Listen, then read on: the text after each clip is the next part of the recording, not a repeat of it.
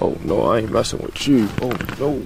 This reporter didn't want anything to do with the bison that were roaming nearby while he was out in the field covering a story at Yellowstone National Park. So he quickly packed up and got in his car. Oh no, I'm not messing with you. Little did he know, the whole event was recorded on his camera. Normally, I'll hit the button and put my gear away. But I guess I guess I got so caught up in the moment, I was just worried of my safety.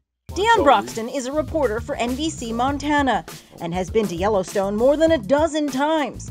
He knew when one of the bison made eye contact, it was time to hightail it. He just began walking towards me, and I was just like, you know what? I'm not going to stick around to see what happens if, uh, if I stay here.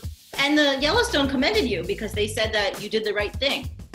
Yeah, we. I mean, I've been to Yellowstone plenty of times for people getting too close to animals. The park said what Deion did was a perfect example of what to do when approached by wildlife, staying socially distant, in this case, 25 yards away, for safety. Oh no, I ain't messing with you. Oh no. I'm Leigh Scheps for InsideEdition.com.